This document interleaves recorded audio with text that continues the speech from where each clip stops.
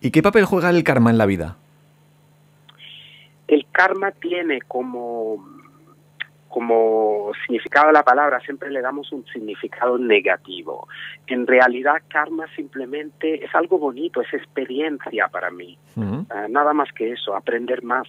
Karma es aprendemos unas lecciones, no pasa nada. No hay esa esa esa sensación de decir has hecho algo malo entonces tendrás que pagar por ello no es exactamente así o sea has hecho algo malo aprenderás a amar a través de ello. Yo lo veo, lo leo siempre en clave muy positiva. Por lo que he podido ver, ¿eh? la gente es que se da cuenta. Imagínate que alguien hace algo malo en esta vida, al morirse se da cuenta y dice, oh Dios mío, ¿qué he hecho? ¿No? ¿Sabes?